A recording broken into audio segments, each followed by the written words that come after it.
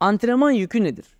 Antrenman yükü frekans, süre ve antrenman yoğunluğunun birleşimidir. Mesela uzun süreler sık ve sert antrenman yapıyorsanız antrenman yükünüz yüksektir. Ya da düzensiz ama düşük yoğunluklu antrenmanlar yapıyorsanız antrenman yükünüz azdır.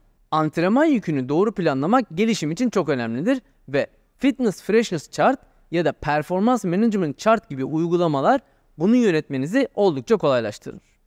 Bu uygulamalar sayesinde vücudunuzun kaldıracağı, kaldırabileceği yükü bulabilir ve buna göre planlama yapabilirsiniz.